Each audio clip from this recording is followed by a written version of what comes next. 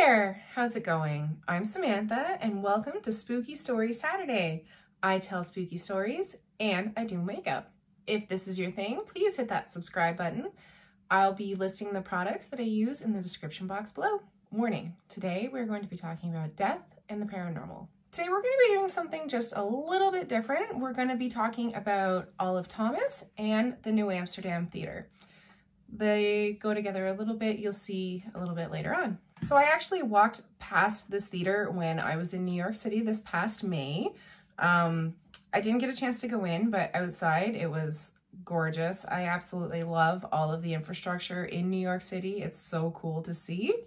The New Amsterdam Theater opened on October 26, 1903, which means that it's actually almost 120 years old. It will be next year.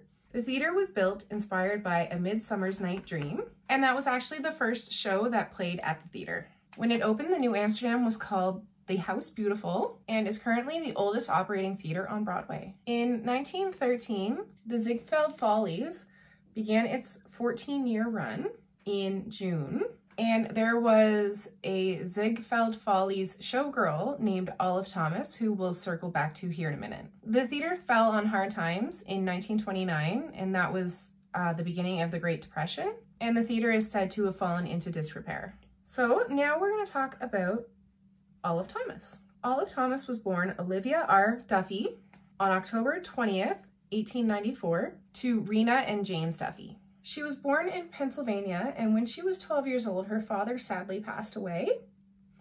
Um, I think it was said that it was a work accident. Her mother then moved her and her two brothers to their grandparents' house so that she would be able to work as a single mother. When Olive was 15, she quit high school to help out the family, like to help support the family. She worked at Joseph Horne's department store, and when she was 16, she married Bernard Krug Thomas, I may have said that wrong, in April 1911. After two years of marriage, left him and moved to New York City. Olive entered a beauty pageant, won, and was named the most beautiful girl in New York City, and that was in 1914. Olive became an artist model and she was featured on magazine covers, including the Saturday Evening Post. In June 1915, Olive made her debut as a Ziegfeld Follies girl at the New Amsterdam Theatre. She remained with the Follies for just over a year until she signed with the International Film Company. Her first film role was in Beatrice Fairfax, and then in 1917, she signed with Triangle Pictures. In 1915, she was granted a divorce from Mr. Thomas for the reasons of desertion and cruelty. In 1917, Olive announced her engagement to Jack Pickford. Now, in my last video, I actually mentioned Jack's sister, Mary Pickford, who was a silent film star at the time. Jack was also an actor. And while Mary was known as America's sweetheart, Jack was known as America's boyfriend. A couple of the movies that Jack starred in are Great Expectations, and he played Tom Sawyer a couple of times. Jack was a bit of a partier, and he was known as kind of a ladies' man. Um, Olive herself also liked to party. It's been said that Jack and Olive actually married in silence because I guess Jack's family didn't approve. In December 1918, Olive signed with Selznick Picture Company, who later on would give jobs to both of her brothers as well. Jack was also signed to Selznick Pictures. Probably Olive's most well-known movie, The Flapper, was released in 1920, and her last film was released October 4th, 1920. Altogether, she acted in about 23 films. In August 1920, Olive and Jack decided to do a second honeymoon. At the time, it said that their marriage was struggling, and so they decided to go to Paris, and they thought that might help. On the night of September 5th, they went out together and then they returned to their hotel room at the Ritz. That night, Olive accidentally drank or swallowed mercury bichloride and sadly, she would die five days later.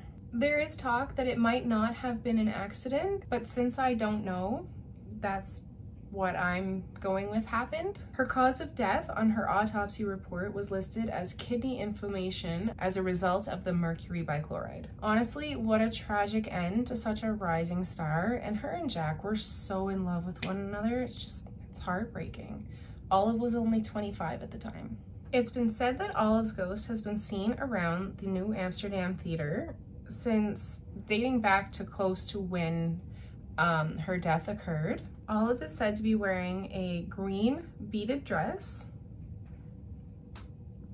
and carrying a blue little bottle, which is what the mercury bichloride was supposed to be in. And when people leave the theater at night, they say, good night, Olive.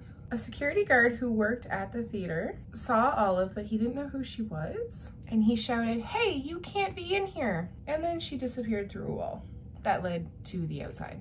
A group of employees were sitting around discussing a new movie about silent film actors that was about to come out. And one of them asked, I wonder what Olive would think of the film when suddenly 13 or 14 DVDs went flying across the room and crashed to the floor. They said that the DVDs had been there for a while and that no one had touched them, so they have no idea what happened. So some of them think it may have been Olive. Some people report like someone touching their back in like a pranking manner. It said that sometimes Olive speaks to men in the theater and she's been seen in the theater itself and also on the roof where sometimes they would perform the follies for the street crowd below. So in 1993, Disney actually signed a 99 year lease on the building and it took them two years to restore it. And then Aladdin, which is currently playing, opened in 2014. What do you think? Do you think the theater's haunted? I think it's possible that Olive went back and that she could possibly still be hanging around. Is there a story that you want me to cover next? If so, leave it in the comment section below. Thank you guys so much for hanging out with me today. If you like this video, please give it a thumbs up. Don't forget to check out my other uploads on Tuesdays and always come back to Spooky Story Saturdays on Saturday. Thank you guys so much. I'll see you guys next week. Okay, bye.